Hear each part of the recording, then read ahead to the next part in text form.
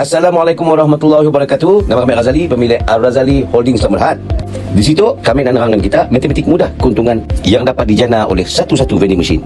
Kita ambil contoh, jika di satu tempat ya ada seribu orang pekerja dan kita ambil 10% saja orang belanja. Maksudnya ada 100 orang pekerja yang berbelanja dan 100 orang tu berbelanja RM5, maka perolehan kita pada hari adalah RM500. Wow.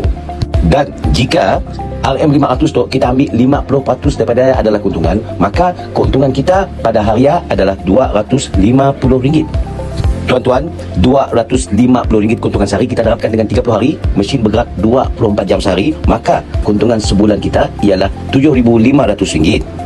Jadi, jika kita beli mesin tu pada harga RM23,000 pada hari tu, maka pada bulan ketiga sahaja kita sudah break even ataupun pulang modal. Dan pada bulan-bulan seterusnya adalah kita hanya menikmati keuntungan kita.